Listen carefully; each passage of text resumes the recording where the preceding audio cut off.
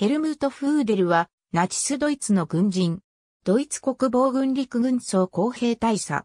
1914年7月4日に、ヘッセンシューラウンハイムに生まれる。1936年に、総工兵少尉に任官。第7戦車連隊に配属され、1938年1月からポツダム士官学校の教官となる。1940年7月、第7戦車連隊に戻り、1941年7月からバルバロッサ作戦に戦車小隊長として参加する。ミンクス、スモレンスクでの包囲戦で素晴らしい戦果を上げる。1942年3月に総工兵隊員へと昇進し、5月27日に騎士十字章を授与される。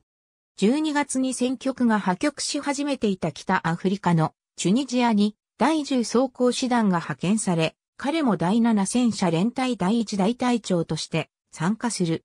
圧倒的な物量で攻勢に出るアメリカ軍に奮闘し、1943年4月2日に白洋騎士十字章を219番目に授与された。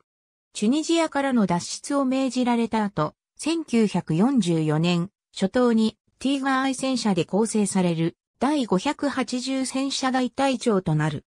12月にグロースドイッチュラント師団の予備戦車訓練大隊長に就任。1945年3月には戦車共同連隊長となり、レマーゲンでの戦闘後、ルールポケットでアメリカ軍に降伏する。